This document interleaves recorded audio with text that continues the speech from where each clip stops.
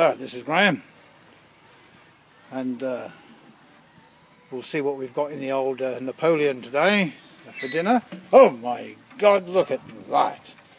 A stuffed boneless chicken breast, which we will of course enjoy with new potatoes, which I've just dug out of the garden, and asparagus.